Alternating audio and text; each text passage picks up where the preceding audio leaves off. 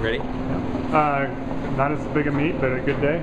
Yeah, you know, it was a, it was a good day today. Just finishing up with Central Invite, and um, you know, I think we had some great, great performances across the board. Uh, you know, it, it, the, the biggest thing that we were looking for is just improvements, and I think we got that. So had a lot of a lot of different people just get better, and you know, that's what we're trying to do every week, week in and week out, just get better every week. So it's good.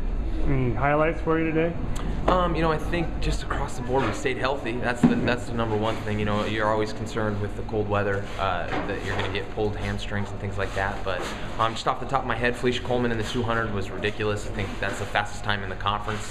Um, uh, Kyle Wood as well, 21 21.8 or whatever he ran in the two, which was great. And then the relays looked really well.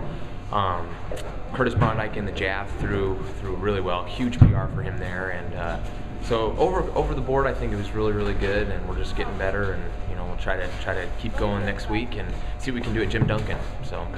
And guys like Curtis and Ethan Miller, maybe by next week might be able to go a little more. Yeah, it was good. I think we, we left Ethan out this week. We we made the call not to have him do anything. I think it was just a right move. He's still just hurt with his uh, his um, hip flexor, so he's coming back a little bit there.